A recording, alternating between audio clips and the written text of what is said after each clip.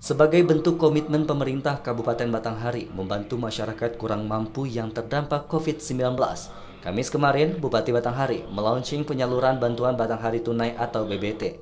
Bupati Batanghari Syahir Syah juga menggelar telekonferensi kepada seluruh camat Bupati minta agar pihak kecamatan maupun kepala desa dan lurah segera merampungkan pendataan penerima BBT yang tidak terakomodir oleh bantuan dari pemerintah pusat, seperti bansos, bantuan langsung tunai yang bersumber dari dana desa, serta bantuan dari pemerintah Provinsi Jambi.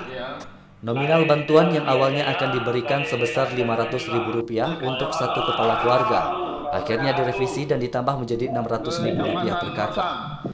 Kalau pemerintah pusat bisa 600 ribu, Kenapa kita tidak? Sebab kita khawatir nanti ada kesenjangan yang belum belum tuntas, belum semua desa melakukan musdes, musyawarah desa.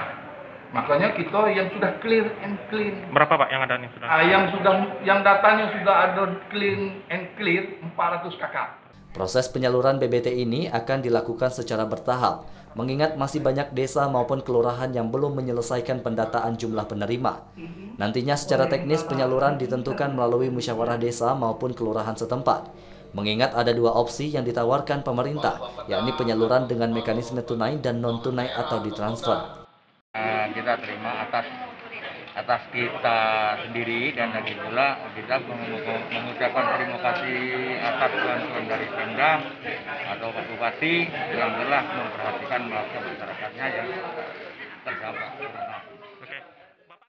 Program BBT ini akan disalurkan selama tiga bulan ke depan, terhitung April sampai Juni mendatang.